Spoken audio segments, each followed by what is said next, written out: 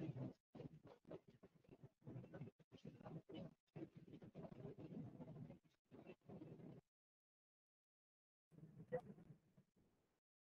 good afternoon, everyone, and welcome to another webinar arranged by Bestax Chartered Accountants.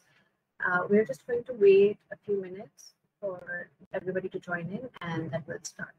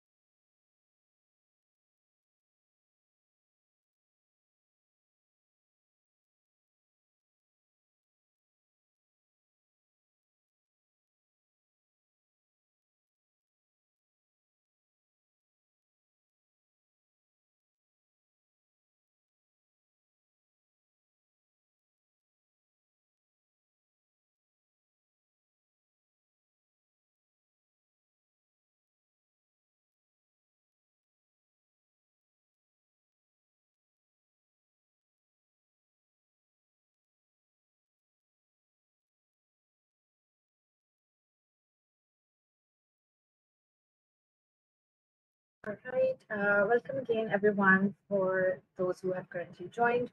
Uh, this is another uh, awareness session on corporate tax regime.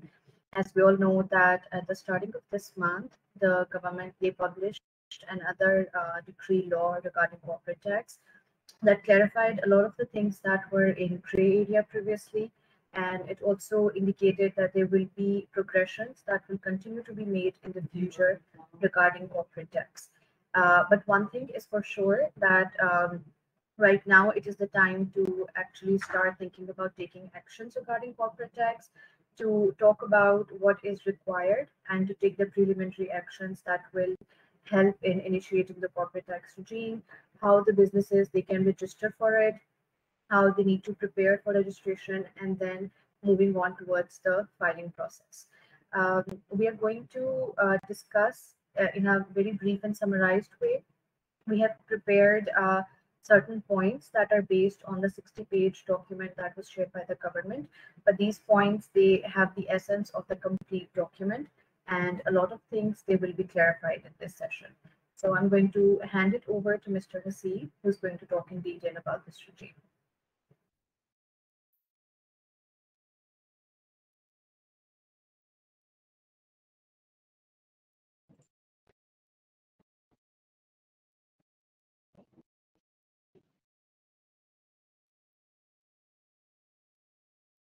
Uh, good afternoon, everyone, and thank you so much, Maham, uh, for a brief uh, introduction about the corporate tax and how um, it is going to impact the businesses in UAE.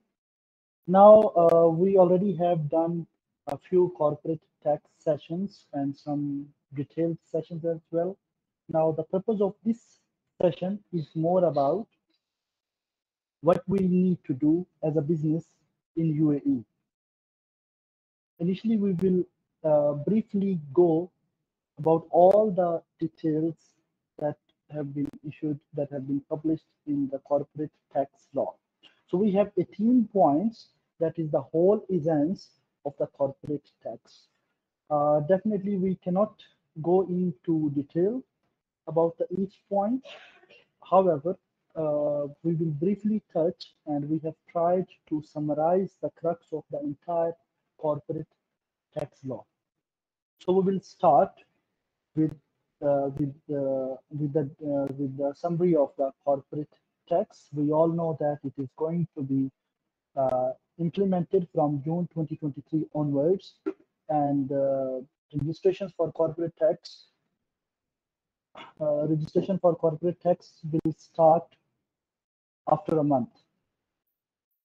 After a month or two but it will be implemented from for the businesses who will have financial years starting from june 2023 onwards.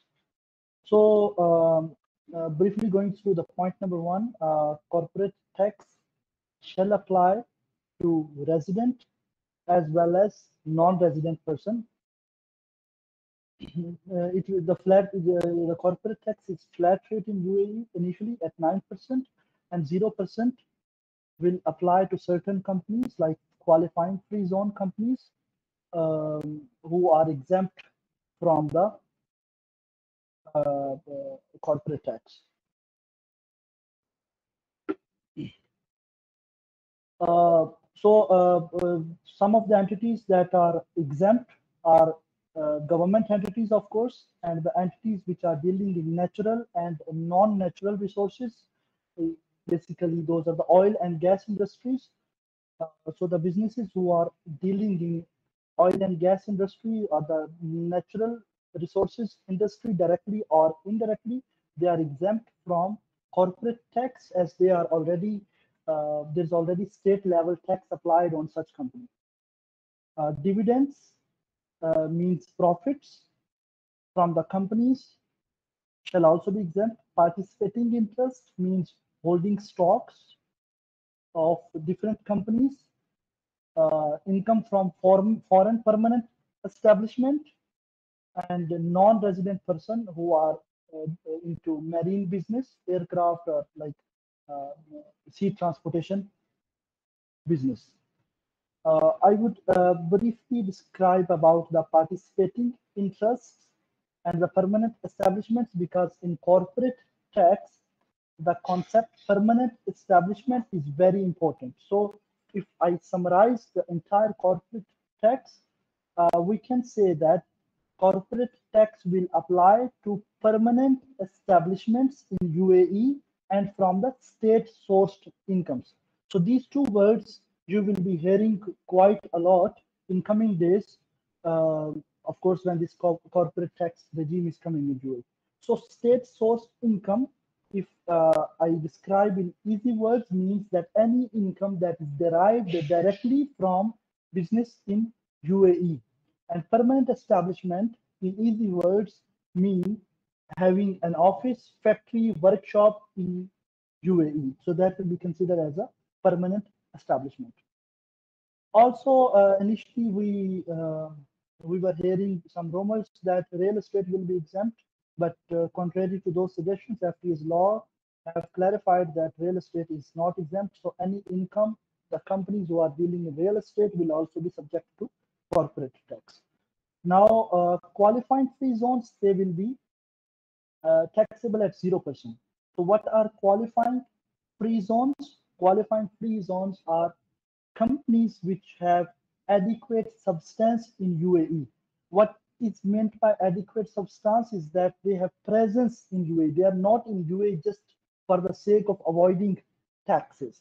It means that they have office, they have employees, and they are doing business not with mainland companies. All their business is outside UAE. They are maybe buying from uh, a non-UAE country and to a non-UAE country. Uh, however, uh, there could be some certain circumstances where qualifying free zone companies can elect, may elect to be subject to corporate tax. So once they have elected voluntarily to be subject to corporate tax, so they will no longer be taxable at 0%, rather they will be taxable at 9%. And um, we will also be uh, focusing when uh, for the qualifying free zone especially uh, on the transfer pricing rules. Now, what is transfer pricing? Is it is a concept when uh, related parties transact with each other. For example, one free zone is will be intersecting with a related party, maybe in a free zone or a mainland, but that transaction should be um, subject to transfer pricing and transfer pricing rules will apply to transactions between related parties. So uh, to briefly describe that, I would say that those transactions should be at market value. The intention should be actual business. So, the, for example, if uh, being a, a, qualifying free zone, uh, if I am purchasing some services or material from my related party, the intention should not be to book my expense. The intention should be the actual business. It should not be that I am showing that, okay, I am purchasing from my uh, a company and to lower my profits. So all the transactions should be uh, at arm's length or uh, transfer pricing or in easy word market uh, at market value. Uh, and of course, uh, this is not just a verbal saying that okay we are doing transfer pricing. There is a, a complete detailed document and documentation and rules that need to be followed to prove that uh, these trans uh, these transactions actually followed transfer pricing. Uh, we expect FTA auditors to more alert when there are related party transactions, and they are definitely going to investigate about the documents and supporting documents. So for the uh, transactions between the related parties. So uh, that is the reason I am focusing more on transaction between the related parties, especially the ones are that are based in uh, free zone to uh, understand uh, the principles and rules for transfer pricing. So whenever they are transit, they, they should have a proper set of documents and records for this for these transactions. Now, uh, uh, moving further, uh, grouping of because VAT, we know that if the audience, the, the, people in the audience, they know that there are VAT group allowed such groups are also allowed to be formed in corporate tax as well, uh, but as long as these are all the mainland companies. Free zone company uh, are not to be allowed to form a corporate tax group uh, until or unless, of course, that free zone company is also subject or elects to be taxed at 9%. Uh, tax group for corporate tax purpose are uh, will be considered as one unit. So all the transactions in between the group, they will be eliminated or um, uh, when sub submitting corporate tax returns. So intra-group uh, transactions uh, will be eliminated. A forming tax group for corporate tax purpose definitely have certain benefits and uh, disadvantages as well. Uh, benefits, of course, with regards to the intra-group group, transactions and disadvantage we can say that uh, if one company is not uh, complying, uh, this will have severely and jointly impact on the entire group. So that is that can be considered as a disadvantage if there are non-compliance issues. To form tax group, of course, the, uh, there are certain conditions. Not uh, everyone, uh, every company can form a tax group with with other companies. one company should own more than 75% in another company. So the owner should ownership should be common uh, above 75% of the shares in all the companies and uh, that uh, financial statements are prepared in the same financial year. So all the companies should have single financial year. So for example, if one company has January to December, the other company should also have January to December financial year. Uh, of course, uh, those, uh, that financial year needs to be as per international financial reporting standards, uh, IFRS. And also for the uh, purpose of corporate tax, the accounting profits, unrealized gain losses can be considered on cash basis only. So means that whenever they are occurred, whenever they are realized, uh, like for example on cash basis, that can be subtracted from the uh, profits that can be adjusted or like subtracted or added into the profits. Uh, uh, again, uh, one of the point for tax group that if the asset or liability is transferred within the companies in the tax group, they will be uh, there will be no gain or loss to be computed in such transactions. Uh, of course, the, uh, the, there are certain conditions to that as well that the taxable persons are juridical persons, they are legal persons with permanent establishment in UAE. And one has more than 75% or more interest uh, in the other. Uh, so of course they will they will be a group. Then all the transfers uh, of the assets and liabilities within the group that will be um, um, will be exempt from uh, or out of scope for the corporate purpose. Uh, no gain or loss will be computed on business restructuring. Uh, for example, if we are changing the ownership or we are restructuring the business, so there is uh, relief for that. That no gain loss will be computed on such transactions. Uh, now, uh, corporate tax has limited the interest deduction uh, up to 30% of earnings before interest, tax, and depreciation.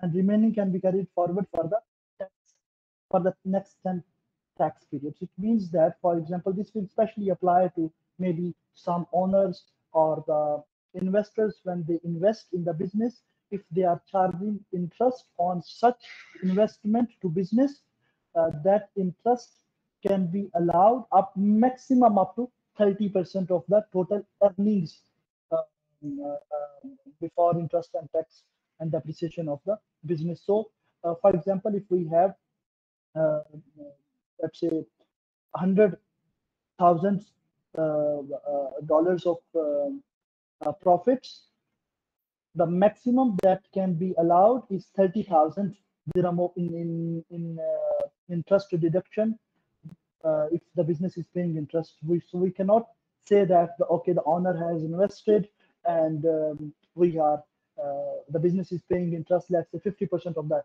profits. So to limit that, maybe such cases may arise because uh, to avoid uh, exploiting the corporate tax law because some companies may invest in the uh, may have investment from the owner and in the shape of interest uh, um, they might they may try to reduce the profits so that is allowed only up to 30 percent of the profit now entertainment expenditure this questions this question has been mostly asked by many clients and as well as the people uh, for uh, the people in business. Uh, this is very common question that if uh, we are having some entertainment expenditure, how much is allowed and how much is not allowed. So to clarify this, uh, up to 50% is allowed. Like for example, if we are having a business meeting or having a business event uh, that is entertainment uh, in nature, that is allowed only 50%. Up to 50% is allowed for to be deducted for corporate tax purpose. tax purpose. We cannot deduct it at 100% and uh, one this this point point number 13 is also very important. And uh, this says that any benefits to owners uh, or the related parties will not be allowed as a deduction so many people are uh, they, they have been asking about for example can we withdraw salary and then treat it as an expense? Unfortunately if you are an owner of the company or one of the shareholders your, your profit cannot be uh, your salaries cannot be uh, treated as deduction. Uh, the dividends, profit, or salary cannot be treated as a deduction for the corporate tax purpose. Uh, purchase made by owners on behalf of the business shall be allowed to be deducted uh, on market value basis. So, for example, if you are making some purchases, maybe furniture or maybe stocks or goods on behalf of the on behalf of the uh, business that uh, is allowed um, on market value basis. You cannot inflate that one.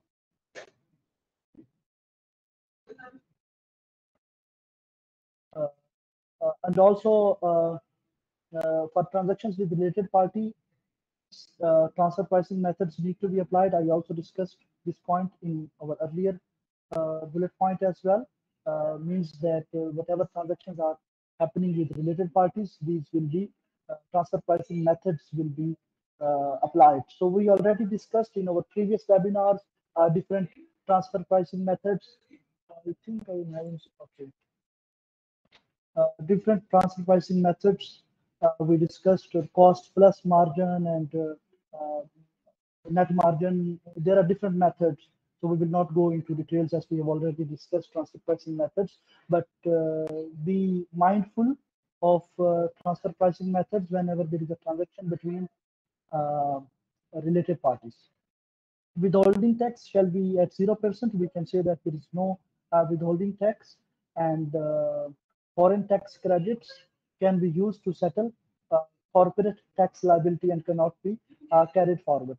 It means that, uh, uh, Uh, uh, for example, if you have paid corporate uh, tax on in a, in a foreign country, that shall that can be deducted as a tax credit in the UAE as well. Uh, but it cannot be carried forward like uh, deductions like, uh, like for example, it cannot be carried forward. However, tax loss can be carried forward, but it cannot be carried backwards. So we can adjust tax losses in future, but we cannot uh, discuss in the previous, uh, we cannot adjust these tax losses in the uh, previous years. So um, honorable audience. So this these were the uh, these were the crux of the entire corporate tax. So this is the summary of the um, uh, corporate tax law that is 60 page that was published by FTA. Uh, of course, uh, we have tried our best to summarize in uh, in the most simplest words possible uh, all the points. However, each point will definitely does definitely have its own details and uh, rules and regulations, uh, which uh, we will be discussing on periodic basis in our upcoming webinars. so these were the uh, we can say these these were the uh, summary of the corporate tax. Now, what to do next? That is the purpose of today's webinar. Uh, first of all, of course, there is a registration requirement and then the filing of corporate tax.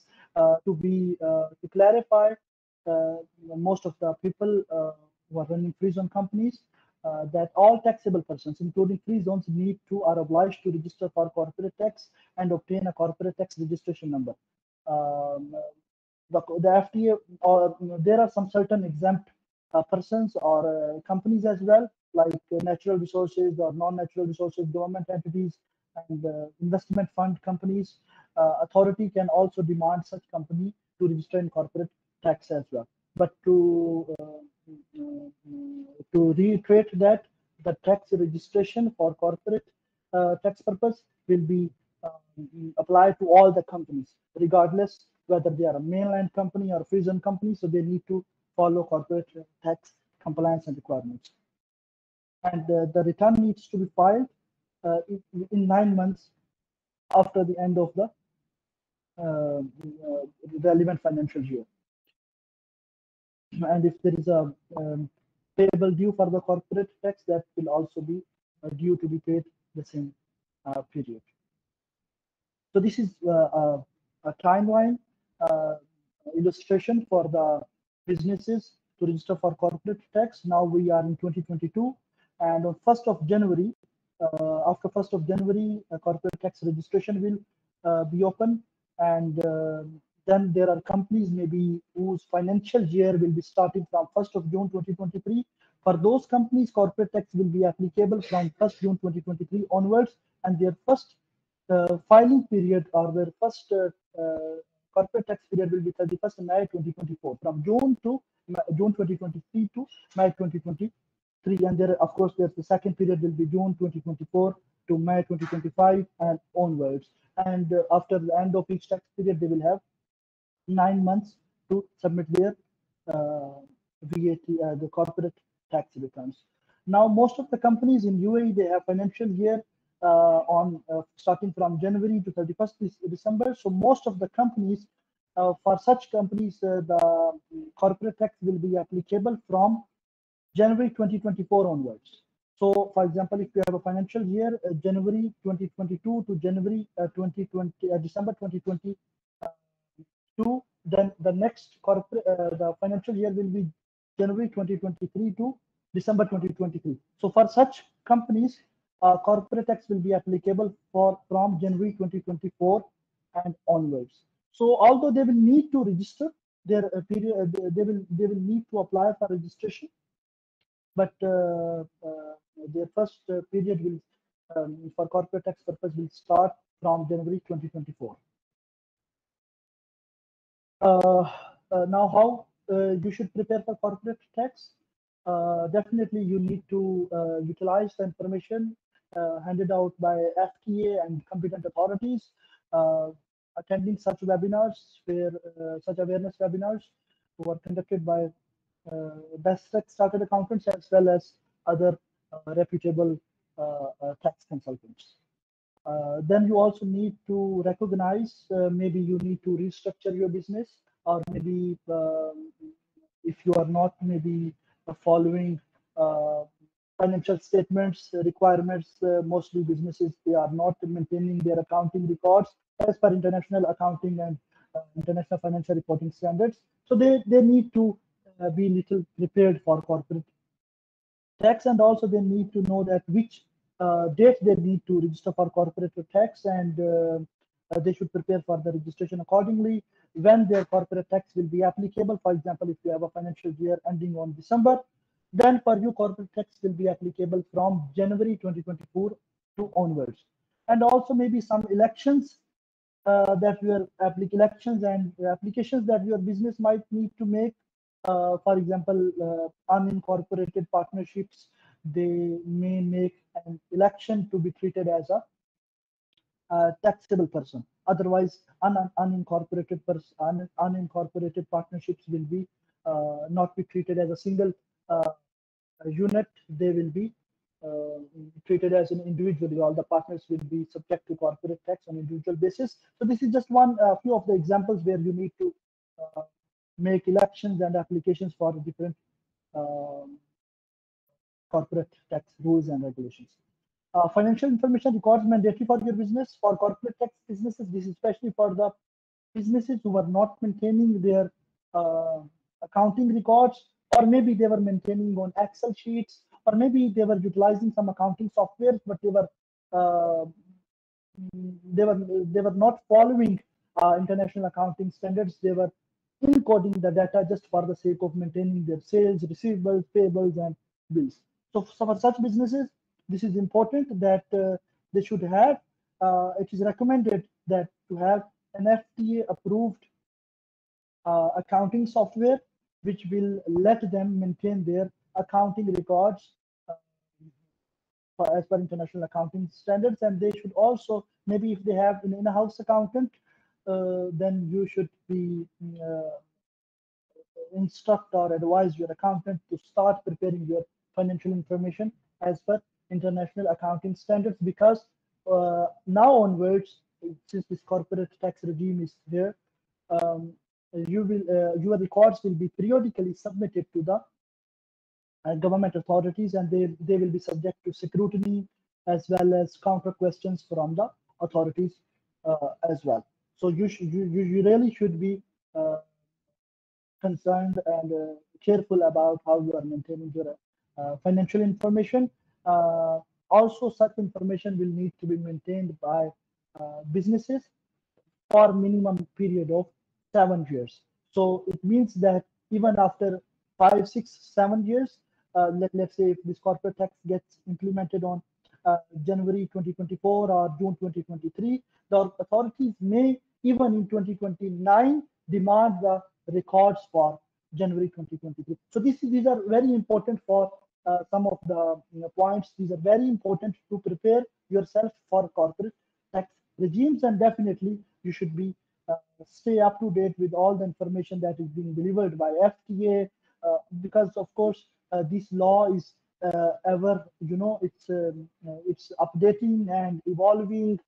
new guidelines are coming from FTA depending on rules and regulations. You should be up. You should keep yourself updated or your finance department or the person who is handling your accounts, they should be updated with all the new regulations. So to avoid any non-compliance uh, uh, uh penalties or non-compliance issues.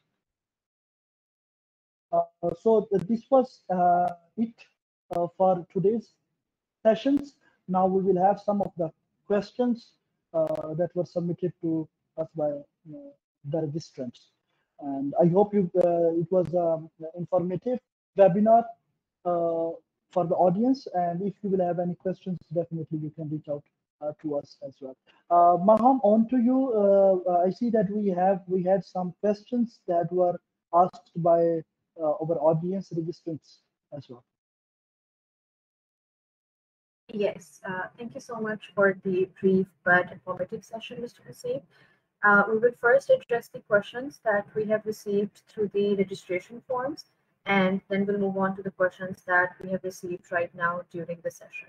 So two to three questions were uh, based on the registration process. Uh, I know we have talked about it, but if you could just touch base that when the registrations will begin and how the companies can register for the tax regime.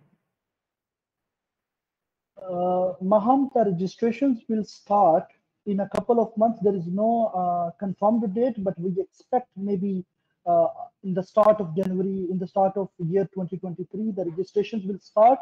And for the registrations, uh, we expect that uh, FTA will definitely be requiring about last 12 months financial statements. So uh, these statements should be prepared as per international financial reporting st standards. And uh, other basic documents, legal documents, uh, business nature of the uh, business model of the company, and other basic other basic questions. These will be we expect FTA to require such information. So the businesses should prepare themselves for the corporate tax registrations uh, now, so they can be uh, registered without I mean getting into any trouble. Right. And uh, there is one question that is a bit specific, but it is regarding the free zone companies that their company is registered in DMCC free zone for management consulting. Will it be rated 0% or 9%? Uh, Maham has already explained that qualifying free zones are only subject to 0%. So not all, so we need to understand this qualifying free zone. Uh, qualifying free zone means that the company is having adequate substance in UAE, that adequate substance, as I have already uh, briefly explained that uh, uh, these are the um, the companies who are have offices and employees in UAE. They are doing business. in UAE, they have an office, workshop, factory, and employees in UAE, and they are not dealing with they, they are not dealing with the mainland companies. So they are either dealing with the free zone companies or they're dealing with uh, mainland uh, non-UAE companies. So these will be subject to 0%. All other companies, uh, free zone companies will, will be subject to 9% if they are dealing with mainland companies and or they are not uh, qualifying free zones. Right. And uh, when we talk about the registration for the corporate tax, uh, for the companies that are exempted from it, for example, free zone companies or the ones that are rated at 0%, will they have to register for the corporate tax as well? Uh, yes, ma'am. All the companies uh, will need to uh, register for corporate tax regardless uh, they are a free zone company or they are mainland company. Uh, the only um, benefit or the incentive to free zone companies is that if they are a qualifying free zone company, they will be subject to 0% uh, corporate tax, which means that they need to uh, have um, uh, proper financial records, uh, proper sporting documents, especially for, uh, I, I, believe that free zone companies who are qualifying free zone companies will have more compliance requirement because we know they are subject to a 0% corporate tax and they need to uh, establish to FTA as well and FTA may at any time uh, investigate or audit such companies and require the sporting documents on the basis of which they claimed to be a, a free zone company. So uh, definitely there is no exemption for registration to any company until or unless we are an exempt persons, which we discussed in our webinar. Uh, uh, even the non-UAE company may also have to register for corporate tax if they uh, if they are having a state sourced income and if they have a permanent establishment in UAE. Right. And uh, what would be the corporate tax treatment for long-term investment for stocks?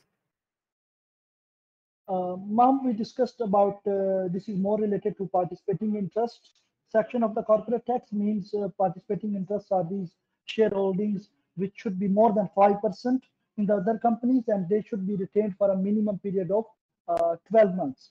So if these are, the, there are certain conditions for participating interests, um, I briefly told you, but there is a there is an entire topic for that, which will uh, which will make us to go spend much time on this one. But to briefly answer your question, uh, this related to participating interests, and uh, if they fulfill the criteria for the participating interests, uh, there shall be uh, no tax, corporate tax on uh, holding of stocks. And uh, we have received a few questions in registration and right now in the live session as well uh, to talk about the financial year that how a company can establish the financial year for corporate tax purposes. Uh, first of all, the financial year is uh, mostly mentioned in the memorandum, so you can check your memorandum of association. Or uh, if you are a free zone company, you can check your the documents provided to you by the authority. There will be a document. It will have financial year uh, prescribed that what is the so most of the companies they have a financial year January to December. also, if you cannot find it in your documents or memorandum, then you can get your uh, you can even decide your financial year yourself as well uh, official financial year starting now onwards by getting your uh, financial statements audited for the year january 2022 to december 2022 so that will be then considered as your uh, uh, corporate uh, tax financial year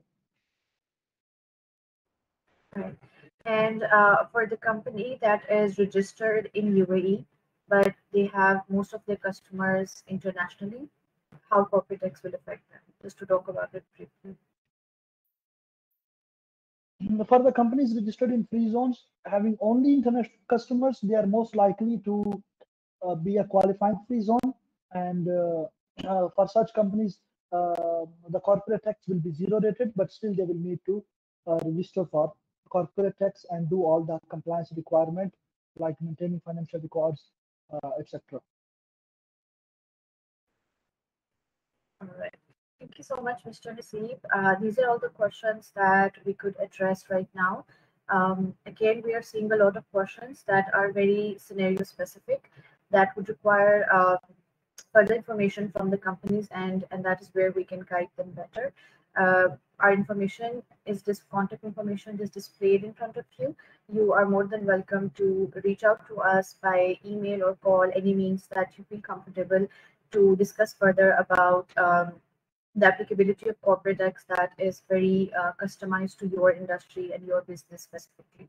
It would be inconvenient right now and uh, with me very less time to discuss about things that are custom to certain industries and businesses.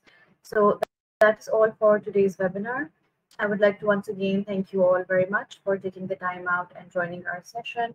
And we will see you all next in our next webinar. Please stay posted on all of our social media platforms to know that when our next webinar will be held. Thank you very much, and you all have a great day.